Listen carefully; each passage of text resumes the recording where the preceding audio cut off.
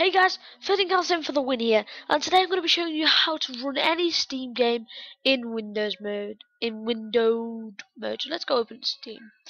So you're going to want to go to Library, and I'm going to trust it on Gotham City. So you're going to go on, right click, go to Properties, get Launch Options, and it should should be empty because your new game, and you don't want that if you want it in Windows.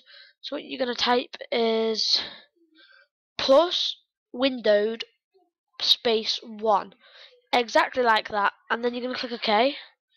You're going to click close. And you're going to go run Gotham City Impostors.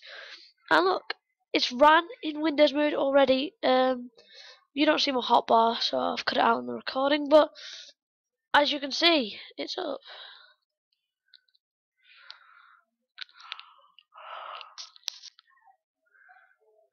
So hopefully you saw that. So there you go that's how to run Gotham City Impostors in windowed mode.